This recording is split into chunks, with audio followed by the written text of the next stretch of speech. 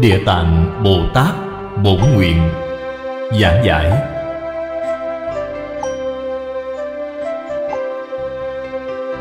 Chủ giảng, Lão Pháp Sư Tịnh Không. Giảng tại Tịnh Tông Học hội Singapore. Thời gian, tháng 5 năm 1998 Tập 63 Xin mời mở bản kinh ra. Phần khoa chú quyển trung, Trang 131 Mời xem kinh văn. Khước hậu quá nhất bách thất thập kiếp. Đương đắc thành Phật. Hiệu viết vô tướng như lai. Kiếp danh an lạc, Thế giới danh tịnh trụ. Kỳ Phật thọ mạng bất khả kế tiếp. Đây là Thế Tôn. Nói cho chúng ta biết, Chủ mạng quỷ dương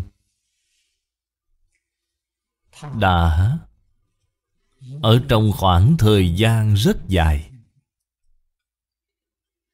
Dùng thân phận đại quỷ dương để giúp đỡ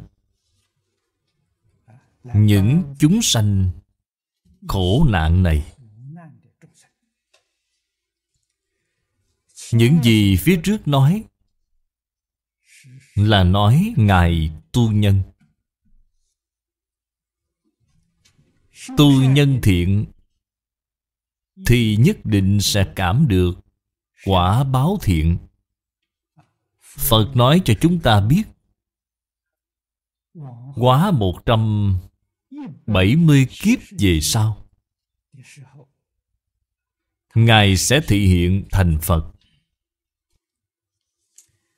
Danh hiệu của Phật là vô tướng Như Lai. Thời đại đó, Thời đại này cũng có danh hiệu. Giống như Thích Ca Mâu Ni Phật của chúng ta xuất hiện vào thời đại này. Tên của kiếp này gọi là Hiền Kiếp. Còn thời đại đó của Ngài gọi là An Lạc. Nhìn từ trên tên gọi, Thấy được Thời đại mà Đức Phật ra đời đó Vô cùng tốt đẹp. Và danh xưng của thế giới Thế giới này của chúng ta hiện nay gọi là Sa Bà. Sa Bà là tiếng Phạn, Có nghĩa là kham nhẫn. Người trong thế gian này rất khổ, Họ có thể nhẫn chịu được. Là thế giới kham nhẫn. Tương lai thế giới của Ngài Vô tướng như lai gọi là tịnh trụ. Chúng ta nhìn thấy hai chữ tịnh trụ. Rất giống với thế giới cực lạc của A-di-đà Phật vậy. Và thọ mạng cũng là thuộc hàng vô lượng thọ. Đoạn khai thị này của Thế Tôn đã gợi ý cho chúng ta rất nhiều rồi. Phía trước đã báo cáo qua với các chị rồi. Rất nhiều quỷ dương ở trong ác đạo đều là do chư Phật Như Lai ứng hóa ở trong đó. Và cũng có rất nhiều Pháp thân đại sĩ tu hành ở trong đây. Đúng như Lời mà trong phẩm phổ môn của Kinh Pháp Hoa nói, Cần dùng thân gì được độ? Thì Ngài liền hiện thân ấy. Thế nhưng hiện thân thuyết Pháp Nhất định Phải có duyên chín mùi Với những chúng sanh này. Phật thường nói, Phật không độ người không có duyên. Cho nên chúng ta ở trong thế gian này Không chỉ là đời này thôi, Mà nhiều kiếp trong quá khứ đến nay.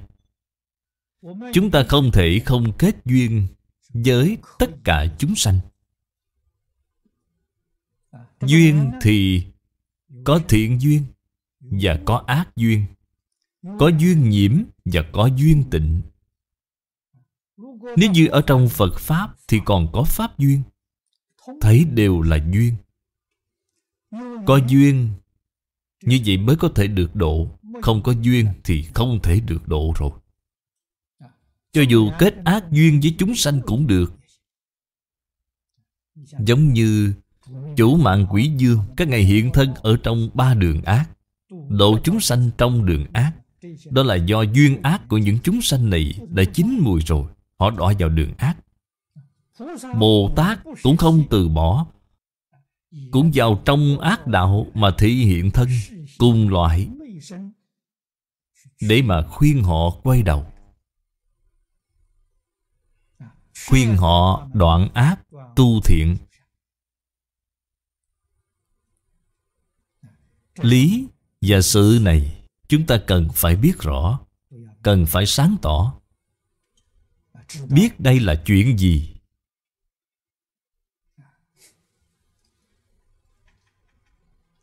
Cũng phải biết rõ, Chúng ta hiện nay Cần phải làm như thế nào.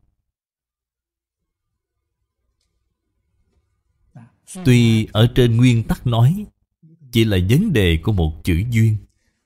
Duyên của chúng ta với tất cả chúng sanh, Thù thắng nhất là kết pháp duyên. Ở trong pháp duyên, Không mang theo phiền não. Cho nên, Nó sẽ giảm bớt chướng ngại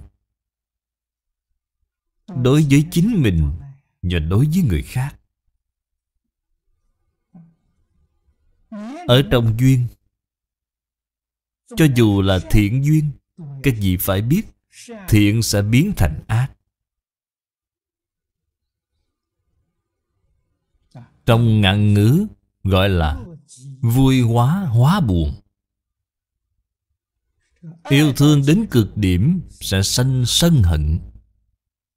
Các vị phải biết, Ác không thể biến thành thiện.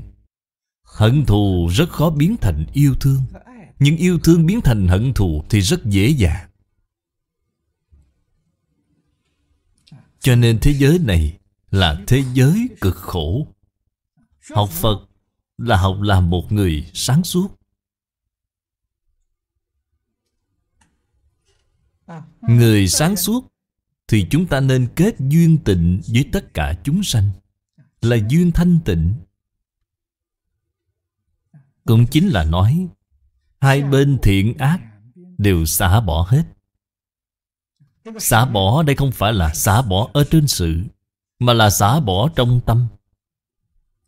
Trên sự khi gặp phải thiện ác, Tóm lại không thể tránh khỏi việc Phải tiếp xúc. Phải giao tiếp. Đây là kết tất cả duyên thiện ác. Nhưng tâm địa thanh tịnh, Không nhiễm mảy bụi, Thì thiện duyên cũng là tịnh duyên, Ác duyên cũng là tịnh duyên. Phải hiểu được đạo lý này. Nếu như ở trong tất cả cảnh giới, Bất luận là hoàn cảnh vật chất Hay là hoàn cảnh nhân sự nếu như chúng ta sanh tâm, Khởi tâm động niệm, Có yêu ghét, Có lấy bỏ, Thì duyên này là duyên nhiễm rồi. Quả báo của duyên nhiễm rất khổ. Nếu như trong khi tiếp xúc với tất cả hoàn cảnh nhân sự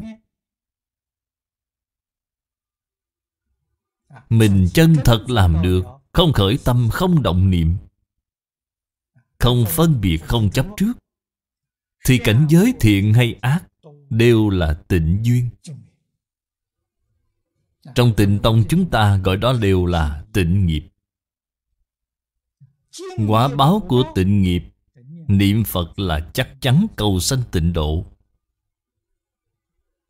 Nếu không biết niệm Phật cầu sanh tịnh độ thì quả báo của tịnh nghiệp Đa phần là ở cõi trời sắc giới. Bởi vì cõi trời dục giới cũng vẫn còn dính nhiễm.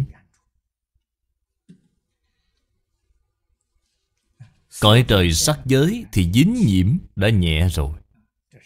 Đây là không thể giảng sanh, Cũng đều sanh về cõi trời. Cho nên đạo lý này phải biết. Thiện chắc chắn có quả thiện. Không những chủ mạng quỷ dương Tương lai sẽ thành Phật. Chúng ta biết, Tất cả mọi chúng sanh Tương lai đều sẽ thành Phật. Đây là Phật ở trên kinh nói với chúng ta rất rõ ràng. Tất cả chúng sanh đều có Phật tánh. Đã là có Phật tánh Thì đương nhiên sẽ làm Phật. Chỉ khác nhau là thành Phật, Sớm hay muộn mà thôi. Cho nên trong mắt của chư Phật Như Lai, Nhìn tất cả chúng sanh, Đều là chư Phật. Chúng ta ngày nay học Phật. Nếu muốn công phu đắc lực, Thì trước tiên phải chuyển quan niệm trở lại. Điểm này vô cùng quan trọng. Nhất định phải xem tất cả chúng sanh là cha mẹ trong quá khứ, Là chư Phật của tương lai. Bạn có thể giác ngộ được như vậy. Có cách nghĩ như vậy, Có cách nhìn như vậy, Là bạn đã gần giống như Phật rồi. Vì sao vậy? Đây là cách nhìn của Phật. Cách nghĩ của Phật. Cách nghĩ và cách nhìn này Nhất định là sự thật. Không phải nói tôi cần phải quán như vậy Không phải, nó là sự thật. Chúng sanh mê hoặc không hiểu rõ chân tướng sự thật. Chúng ta muốn thành phật sẽ thành phật nhanh chóng con đường thẳng tắt để thành phật không có gì bằng chuyển quan niệm trở lại. Vì vậy có thể tận hiếu Hết lòng cung kính với tất cả chúng sanh. Vì sao vậy? Họ là chư Phật mà.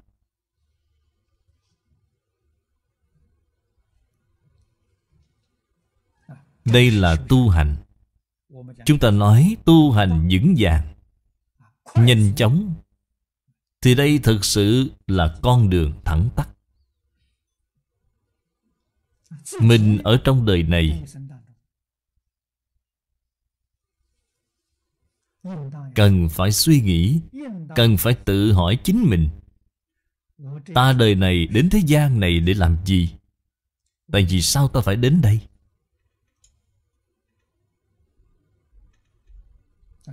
Đời này được thân người Được thân người có ý nghĩa gì? Có giá trị gì chứ? Con người có thể thường xuyên soi lại được như vậy. Là giác ngộ rồi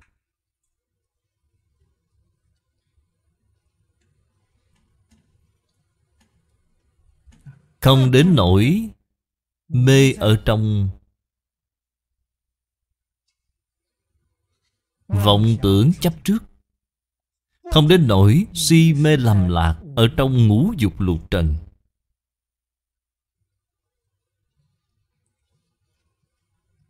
Người chưa có học Phật, Rất ít người có loại ý thức này. Người học Phật được mấy người Tỉnh ngộ lại được? Sau khi thật sự tỉnh ngộ lại rồi, Hãy tìm đáp án ở trong đây. Có đáp án rồi. Thì tâm trạng trong đời này của bạn Sẽ được an định. Vì sao vậy? Bạn làm người Bất luận là thời gian dài hay ngắn. Thời gian dài hay ngắn Chính là tuổi thọ dài hay ngắn. Bạn có mục tiêu, Có phương hướng.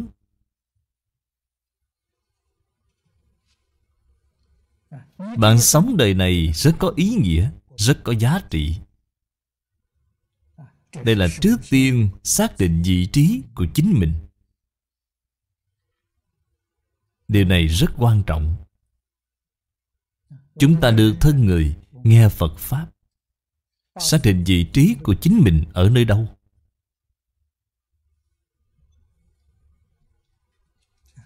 Xác định vị trí ở Hoàng Pháp lợi sanh, thì nhất định phải làm tốt công việc này. Hết lòng hết dạ Làm cho thật viên mãn.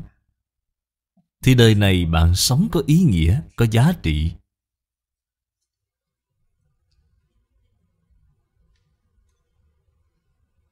Xác định mình ở trong niệm Phật đường Dẫn chúng tu hành, Thì buông xả tất cả vạn duyên. Quyết một lòng. Chấp trì danh hiệu. Dẫn dắt đại chúng. Trợ giúp đại chúng thực thà niệm Phật. Việc này cũng vô cùng có ý nghĩa, Vô cùng có giá trị. Đây là nói người xuất gia. Chúng tôi nêu ra vài thí dụ đơn giản như vậy.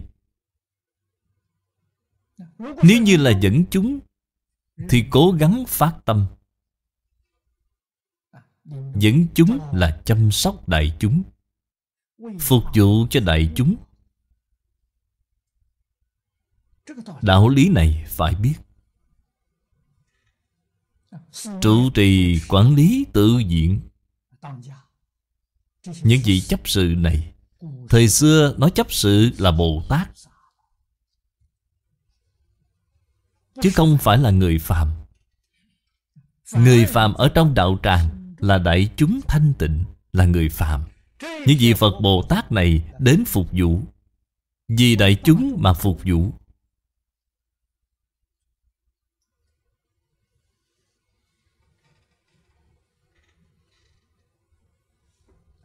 Không được phép cậy quyền cậy thế. Có địa vị rồi làm mưa làm gió. Thế thì hỏng rồi.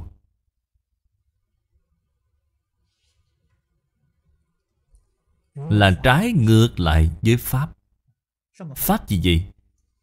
Là trái ngược lại với tánh đức.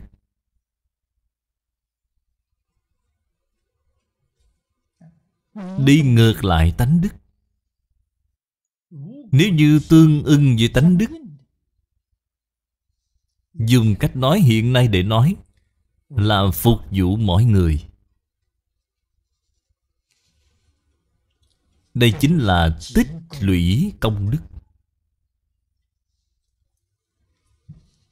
Chúng ta phải giác ngộ lại từ chỗ này. Càng ở, Địa vị cao. Giống như ở trong tự viện, Bạn là chủ tịch của Tòng Lâm. Bạn là trụ trì của đạo tràng. Thì bạn phục vụ cho cả đạo tràng.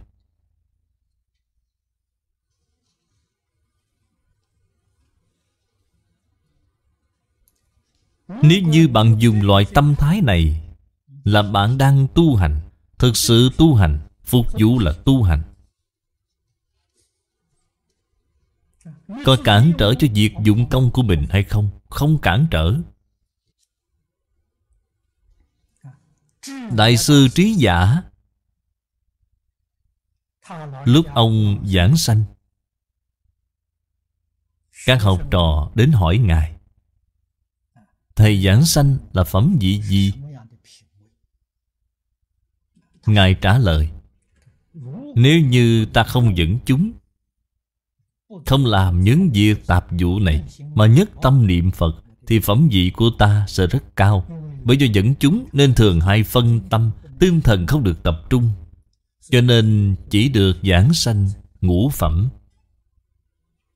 Lời nói này có phải là thật hay không? Cũng có thể nói là thật, Và cũng có thể nói là không phải thật. Chúng ta phải hiểu được Ý nghĩa lời tổ sư nói. Lời nói này của Ngài có ý nghĩa rất sâu. Nếu như là phàm phu, Làm chức trụ trì đương gia, Quản lý sự việc hành chánh đạo tràng, Thì thật sự có tổn hại cho phẩm vị giảng sanh của mình. Thế nhưng tiêu chuẩn thấp nhất của họ là chắc chắn có thể giảng sanh. Phẩm vị thấp một chút cũng không sao cả, Xả mình vì người. Đây là nói đối với Phạm Phu Tăng. Nếu như đối với Thánh Hiền Tăng mà nói, Thế thì khác rồi. Làm việc phục vụ chính là tu hành.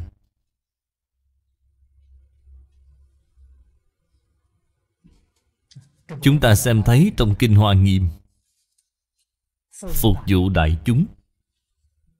Từ sáng cho đến tối, Vô cùng bận rộn. Đây là bận rộn trên sự, Nhưng tâm địa thanh tịnh, Tam luân thể không Không nhiễm mấy bụi. Nên tam học giới định huệ của họ Đều hoàn thành.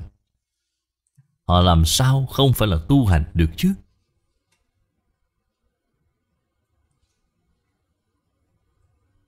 Chúng ta thấy Đại sư Huệ Năng Bên Thiền Tông ở Hoàng Mai, Công việc mỗi ngày của Ngài Là phục vụ đại chúng.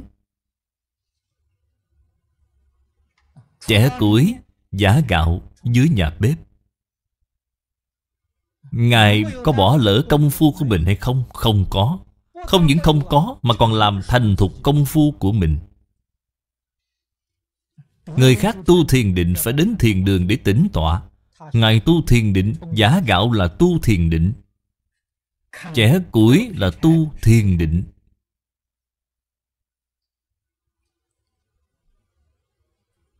Mỗi ngày tiếp xúc với những đại chúng trong thường trụ Là tu thiền định.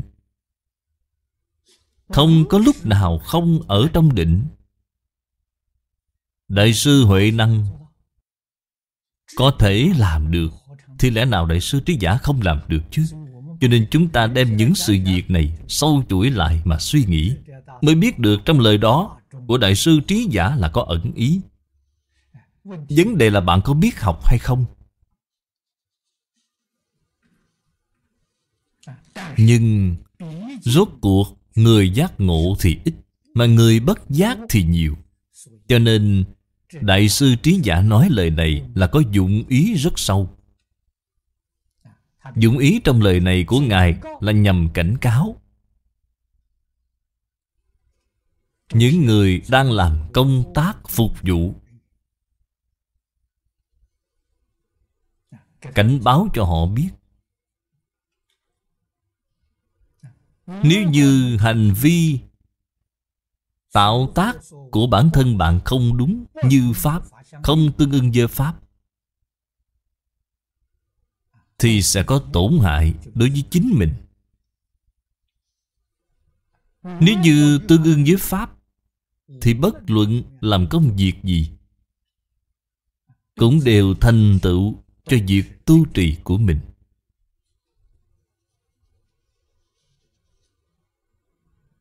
Ở trong cửa Phật Có Pháp nào là không phải Phật Pháp đâu? Tương ưng rồi thì Pháp nào cũng là sự thật cả. Đại Đức Tông Môn thường nói Mặt nào cũng là sự thật Cái nào cũng là đạo.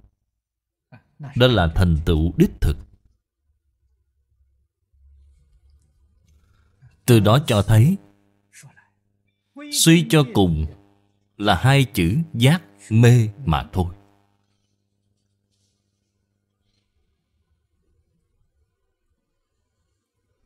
làm sao chúng ta có thể ở trong đời sống?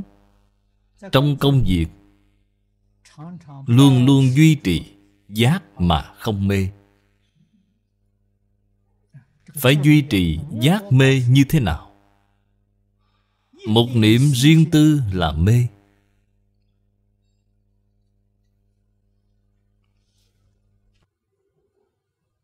Đây là mấu chốt, là điểm trọng yếu. Một niệm yêu ghét là mê. Vừa khởi tâm động niệm liền mê ngay. Thế nhưng bạn có thể khởi tâm động niệm. Để phục vụ tất cả chúng sanh Thì đây chính là giác. Vì không có cái ta Hết lòng hết sức phục vụ đời chúng xã hội là giác. Từ đó cho thấy Chư Phật Như Lai, Chư Đại Bồ Tát. Ở trong chính Pháp giới, Hiện thân thuyết Pháp.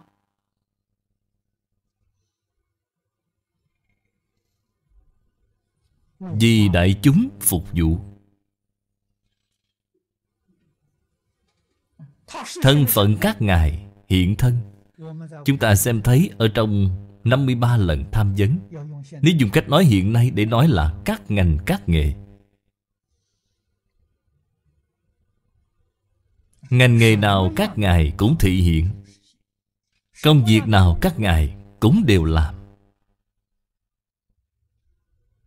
Không những không có phương hại đến đạo nghiệp của mình, Mà mỗi ngày còn nâng cao thêm.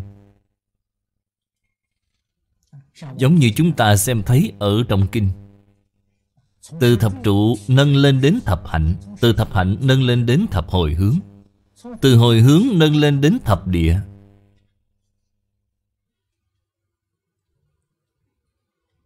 Nói tóm lại một câu Là phục vụ xã hội, Phục vụ nhân dân, Phục vụ tất cả chúng sanh Nhằm nâng cao địa vị Bồ Tát của mình. Đó gọi là tu hành. Tu hành là gì? Tu để bỏ hết tâm riêng tư, Bỏ hết lợi ích riêng tư. Cho dù đứng ở địa vị rất cao Là để phục vụ đại chúng. Chứ không phải. Ở cái vị trí quyền thế đó Để làm mưa làm gió, Không phải vậy là phục vụ đại chúng. Chỉ là chuyển đổi ý nghĩ trở lại. Sau khi chuyển trở lại Thì đó đều là hạnh Bồ Tát. Bất luận ở chức vị gì, Bất luận làm công việc gì, Chỉ cần là phục vụ xã hội, Phục vụ nhân dân, Phục vụ chúng sanh Đều là sự nghiệp Bồ Tát. Một niệm vì mình liền tạo nghiệp ngay.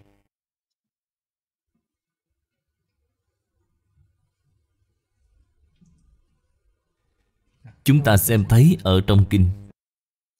Chỉ nhìn thấy trong sự thật Thì càng nhiều hơn nữa. Cho nên kinh văn này Đã gợi ý cho chúng ta rất nhiều. Nhất định phải biết, Gieo nhân thiện mới được quả thiện. Thiện và ác. Một niệm vì chúng sanh là thiện, Một niệm vì chính mình nhất định là ác rồi. Đây là điểm chúng ta cần phải hiểu rõ, Cần phải nắm chắc. Làm sao để xả bỏ hết cái tôi riêng tư? Đây là chỗ nhập môn tu hành của chúng ta. Bằng công phu mới có thể đắc lực được. Xem tiếp kinh văn dưới đây. Trang 132 Địa tạng thị đại quỷ vương, Kỳ sự như thị. Bất khả tư nghị. Sở độ thiên nhân Diệt bất khả hạn lượng. Đây là Thế Tôn gọi Ngài Địa Tạng Bồ Tát. Nói với Ngài, Thị Đại Quỷ Vương Chính là chỉ Chủ mạng quỷ vương.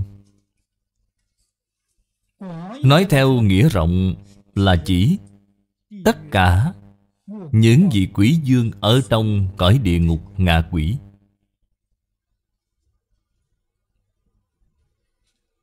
Đều là do Phật Bồ Tát thị hiện. Ở trong chú giải Ngài nói, Việc này chẳng thể nghĩ bàn. Dựa theo bổ nguyện mà khen ngợi tích xưa. Bản lai diện mục của các ngài Là Phật Bồ Tát, Là Pháp Thân Đại Sĩ. Các ngài hiện tướng là tướng quỷ dương.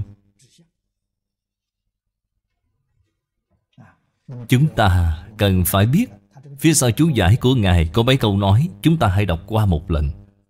Phần sau chú giải là Hai hàng sau cùng của đoạn chú giải này. Hữu phục ưng tri. Nhất thiết giai thị, Phù trần chư huyễn hóa tướng. Đương xứ xuất sanh, Tùy xứ diệt tận. Hai câu nói này ở trong Kinh Lăng Nghiêm. Huyễn vọng xưng tướng, Kỳ tánh, Chân vi diệu giác minh thể. Nhược liễu thử ý, Tắc ư chư thánh, Quyền thực hóa môn, Tư quá bán hỷ. Đây là dùng mấy câu nói trong Kinh Lăng Nghiêm. Để làm tổng kết. Tổng kết rất hay. Quả thật là như vậy. Cho nên số lượng chư Phật Bồ Tát Ứng hóa ở thế gian Nó thật ra, Còn nhiều hơn phàm phu ở thế gian này. Phàm phu đã nhiều, Nhưng Phật Bồ Tát còn nhiều hơn.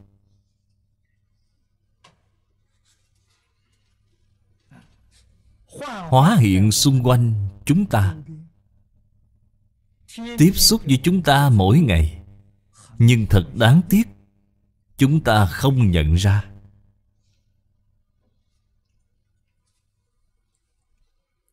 Như vậy thì Có người sẽ hỏi Tại sao Phật Bồ Tát không nói rõ? Nói rõ với bạn cũng không tin. Các ngài nói với bạn, Tôi là Bồ Tát gì đó, tái lai. Tôi là Phật gì đó tái lai Thì bạn có tin hay không? Sẽ tạo nghiệp còn nặng hơn. Cho nên Phật giáo hóa chúng sanh Có một quy tắc Là tuyệt đối không để lộ thân phận. Khi lộ thân phận thì nhất định phải đi. Không được nói lộ thân phận rồi Mà bạn vẫn trụ ở thế gian này. Vậy thì phiền phức rất lớn. Họ sẽ nói lời săn bậy mê hoặc quần chúng. Người ta nói đây là Phật gì đó đến Bồ Tát gì đó tái lai, Thì mọi người sẽ đến cúng dường. Vậy thì yêu ma quỷ quái liền có thể mượn cách thức này để lừa gạt chúng sanh. Tạo vô lượng vô biên tội nghiệp, Mê hoặc chúng sanh. Cho nên chân nhân không để lộ hình tướng. Người để lộ hình tướng Nhất định không phải là chân nhân. Nếu như họ nói họ là Phật Bồ Tát gì đó tái lai, Nói xong lập tức liền đi ngay, Thì đó là thật, Chứ không phải là giả. Nói xong vẫn không đi, Vậy thì giả, chứ không phải là thật rồi. Cho nên gặp phải người như vậy, Bạn có thể hỏi họ, Người xưa nói xong liền đi, Sao ngày không đi?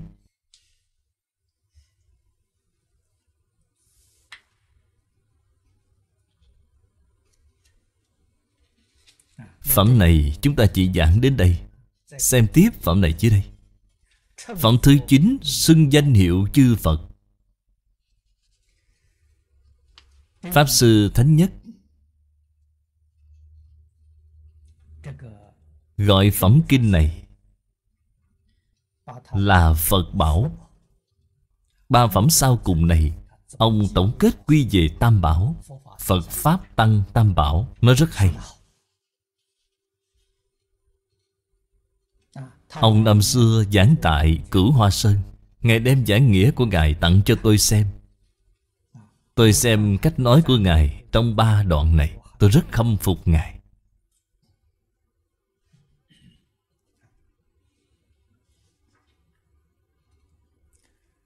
Tổng kết quy về Tam Bảo Mới có lợi ích chân thật. Mời xem kinh văn. Nhĩ thời địa tạng Bồ Tát Ma Ha Tát, Bạch Phật ngôn. Thế Tôn, Ngã kim vị Vị lai chúng sanh, Diễn lợi ích sự. Ư sanh tử trung đắc đại lợi ích, Duy nguyện Thế Tôn Thính ngã thuyết chi. Trên Kinh Văn nói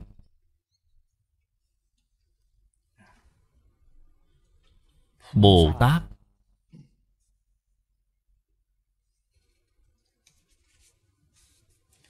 Muốn nói sự lợi ích cho chúng ta biết. Lợi ích gì vậy?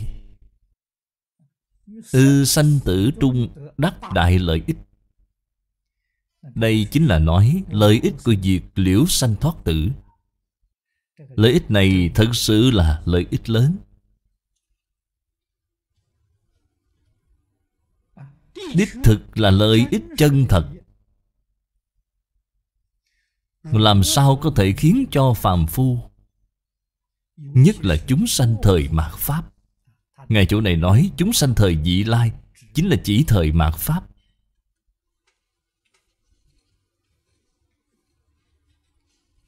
Chúng sanh thời mạt Pháp Là khổ hơn bất kỳ thời đại nào.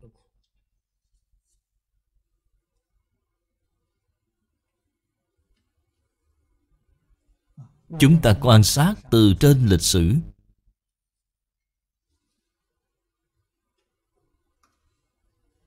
Quan sát từ trong đời sống hiện thực. Theo trí nhớ của bản thân tôi, Và người tuổi tác cao một chút, Những người khoảng 7-80 tuổi Nhớ lại đời sống của nửa thế kỷ về trước. Tuy là Thế gian đã bị loạn rồi. Thế nhưng tâm cảnh Vẫn còn hòa bình như cũ. Mặc dù ở trong thời gian chiến tranh loạn lạc, Phải dắt nhau chạy lưu lạc khắp nơi. Nhưng tâm trạng họ vẫn yên ổn. Thế nhưng thời nay, Mặc dù đời sống vật chất rất dồi dào, đời sống công việc của bạn rất ổn định, nhưng tâm trạng của bạn không ổn định. Thực sự có thể nói là tâm ý hoảng loạn đây là do nguyên nhân gì?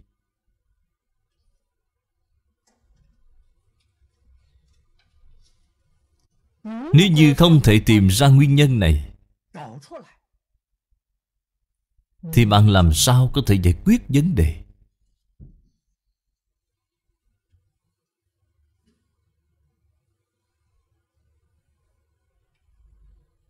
Mà những nguyên nhân này ở trong phật pháp thực sự giải thích rất rõ ràng. So sánh nửa thế kỷ trước đây cùng với nửa thế kỷ sau này, sẽ thấy được rất rõ ràng. Tâm của con người thời đó rất nhân hậu. So với về trước nữa thì đương nhiên không bằng rồi. Thật sự là lòng người và đạo đức ở mỗi đời một tệ hơn thời chúng tôi còn nhỏ. Thường hay nghe, người lớn nói là, mỗi đời một tệ dần đi. Nghe câu này rất là quen thuộc, mà không có cảm nhận được. Hiện nay nghĩ đến những câu nói này, thấy cảm nhận sâu sắc. Lòng người của thời đại đó tham sân si ít hơn rất nhiều.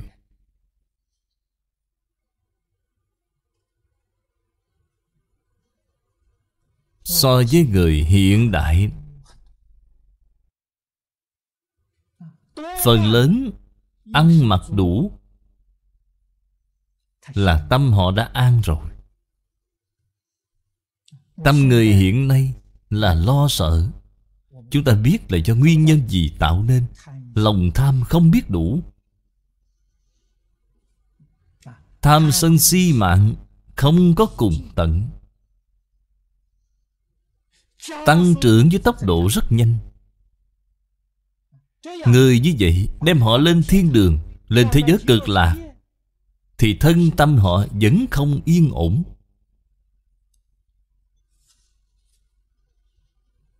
Đạo lý là ở chỗ này.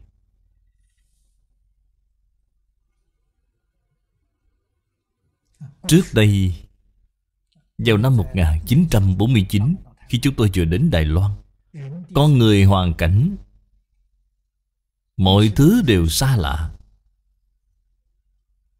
Chúng tôi muốn đến nơi nào đó để tìm người quen. Không biết đường, gặp bất kỳ người nào trên đường, hỏi thăm họ, đường đến đó đi như thế nào. Họ đều rất nhiệt tình. Không những chỉ cho bạn một cách tỉ mỉ, có khi họ còn dắt chúng ta đến tận nơi hiện nay không còn nữa rồi. Khi bạn hỏi họ họ đều trả lời không biết, Cũng không thèm quan tâm đến bạn. Hiện tại là khi nào có lợi cho họ Họ mới làm. Nếu không có lợi thì bỏ mặt. Vào thời đại đó, Rất ít khi nghe thấy Chuyện bỏ rơi, Không chăm sóc cha mẹ lúc tuổi về già. Còn hiện tại, nơi đâu cũng gặp.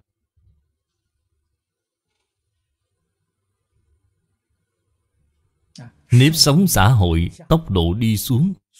Ngày một nhanh Quá đáng sợ. Ngày nay là xã hội gì? Cho nên có rất nhiều nhà tiên tri phương Đông, phương Tây Nói là thời đại này có tai nạn lớn. Chúng ta nhìn thấy những dấu hiệu này. Cảm thấy không thể không tin. Dấu hiệu và điềm báo trước này Tuyệt đối không phải là chuyện tốt.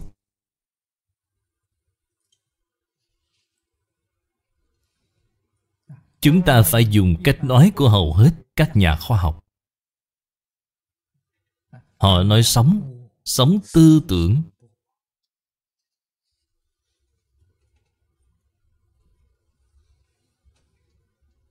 Bậc thánh hiền thế gian và xuất thế gian.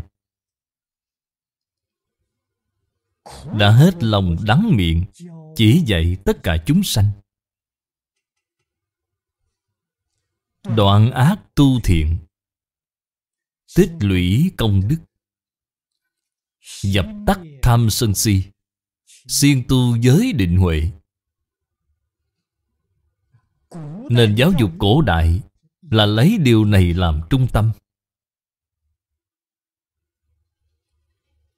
Hay nói cách khác là giúp cho sống tư tưởng của chúng ta Được bình hòa.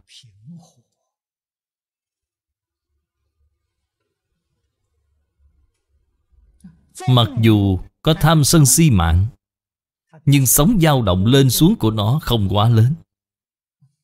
Nó có một tiêu chuẩn, Có một nguyên tắc. Nghĩa là không thái quá. Dao động lên xuống của nó Gần mức thăng bằng.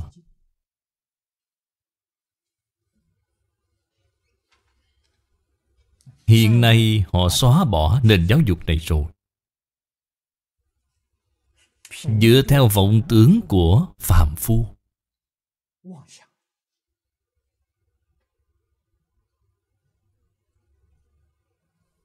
Cái gọi là tự do dân chủ mở cửa.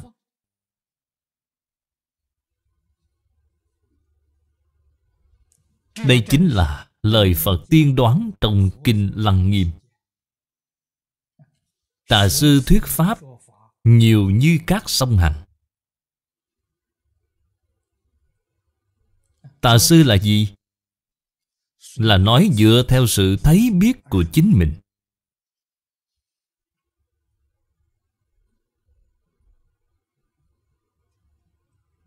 Thấy biết của chính mình là vọng tưởng Nói dựa theo vọng tưởng phân biệt chấp trước của mình.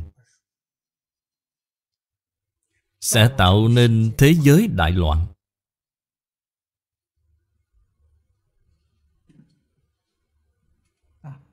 Tạo thành sống tư tưởng. Lên xuống với biên độ lớn. Vượt qua tiêu chuẩn quá nhiều. Hiện tượng của nó Chính là lòng người lo lắng không yên.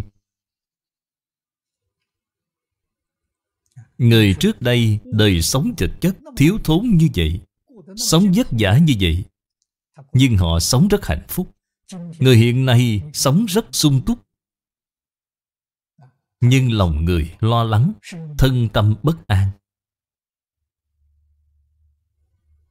Thông thường gọi là hiện tượng dội vàng nóng nảy. Do nguyên nhân gì tạo nên? Do sống tư tưởng tạo nên.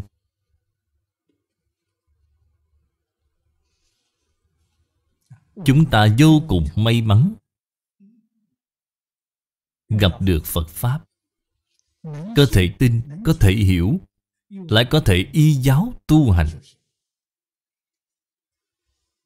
cách nghĩ, cách nhìn. Tư tưởng của chúng ta rất giống với tiêu chuẩn của phật đã nói.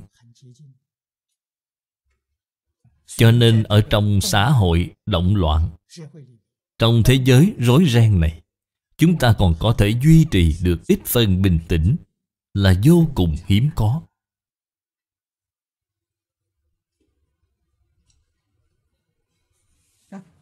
Càng chăm chỉ học tập.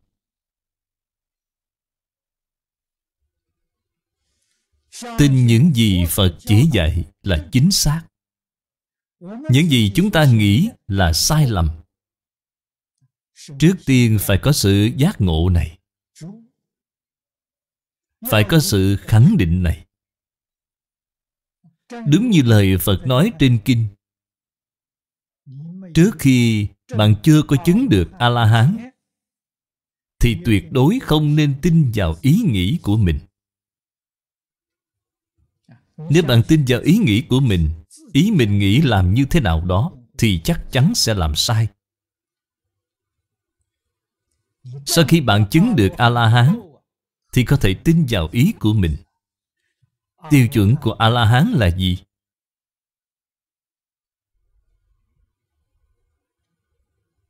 vậy là quá rõ ràng rồi. A la hán là phá chấp ngã rồi. Là vô ngã.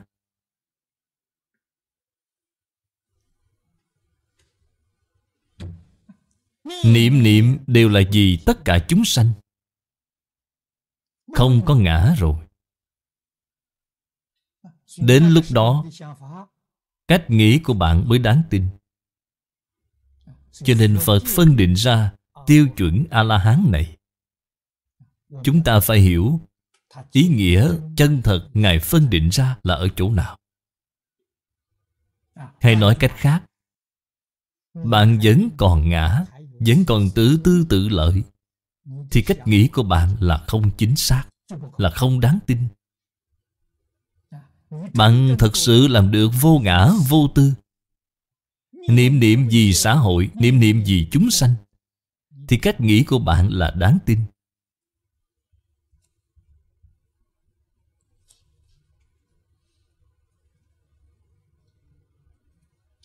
Khi chúng ta vẫn còn ngã, Vẫn còn tâm riêng tư, Vậy thì làm thế nào? Cần phải từ bỏ cách nghĩ của mình, Tuân theo lời giáo huấn của Phật. Như vậy mới không đến nỗi sai lầm lớn. Phật dạy chúng ta nên làm lợi ích cho chúng sanh Thì đương nhiên sẽ tái lại với lợi ích của mình. Chúng ta phải khắc phục ở trong tâm. Người hiện nay gọi là hy sinh, phụng hiến Hy sinh lợi ích của mình Tác thành lợi ích của đại chúng. Đây là Phật chỉ dạy chúng sanh chưa có giác ngộ. Người đã giác ngộ rồi Thì không cần chỉ dạy nữa. Suy nghĩ, nói năng hành động của họ Tự nhiên sẽ tương ưng. Là tương ưng với những gì Phật Bồ Tát nói. Chúng ta ngày nay không những người học Phật tại gia phải hiểu được đạo lý này Mà người học Phật xuất gia càng phải nên hiểu đạo lý này hơn.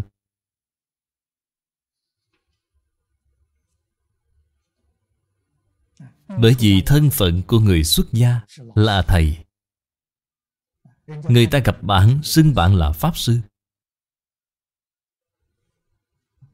Sư là mô phạm cho xã hội đại chúng, là tấm gương cho xã hội đại chúng. Chúng ta lấy cái gì làm tấm gương? Lấy cái gì làm mô phạm đây? Chính là vô tư.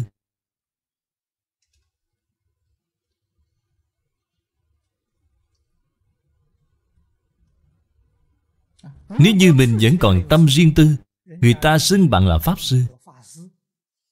Bạn thử nghĩ xem.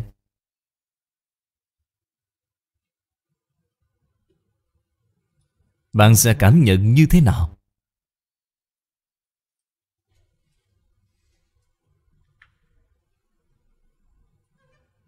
Không thể làm tấm gương cho đại chúng. Không thể làm mô phạm cho đại chúng. Người ta gọi bạn là thầy. Bạn sẽ thấy rất khó chịu. Danh không phù hợp với thực.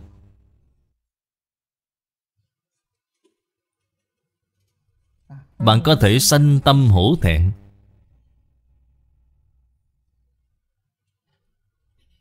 Có thể quay đầu, Có thể sửa lỗi. Vậy là việc tốt.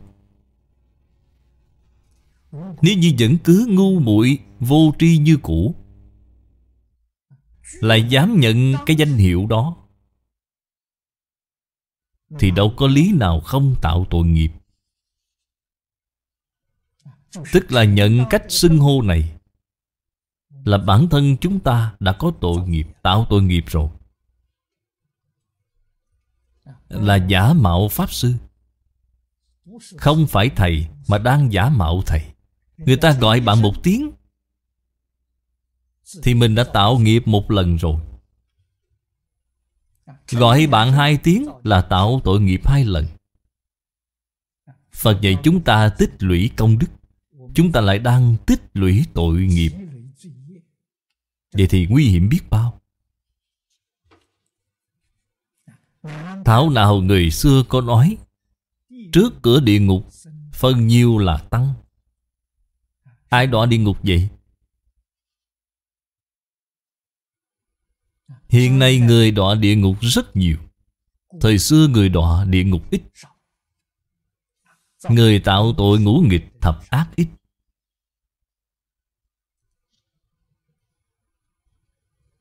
Và tăng sĩ chưa có làm trọn chức trách của mình. Vậy thì không thể tránh khỏi phải đọa lạc.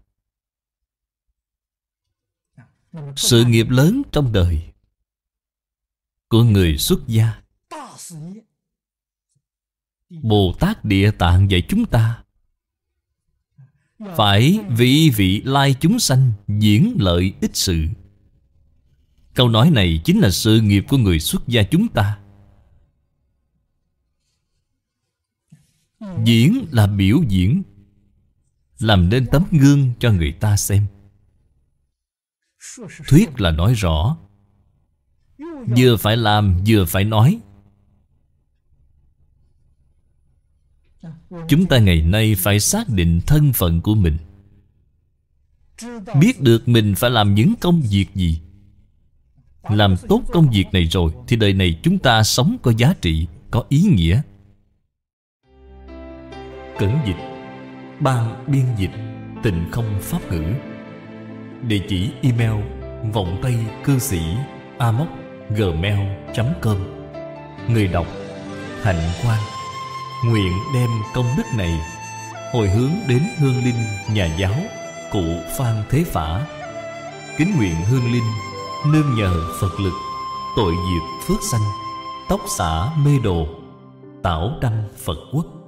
Nguyện cả thảy chúng sanh Đều tín niệm di đà. Đồng cầu sanh về nước cực lạc. Nguyện đem công đức này Trang nghiêm Phật tịnh độ. Trên đền bốn ơn nặng, Dưới cứu khổ ba đường, Nếu có ai thấy nghe, đều phát tâm bồ đề. Hết một báo thân này, đồng sanh về nước cực lạc.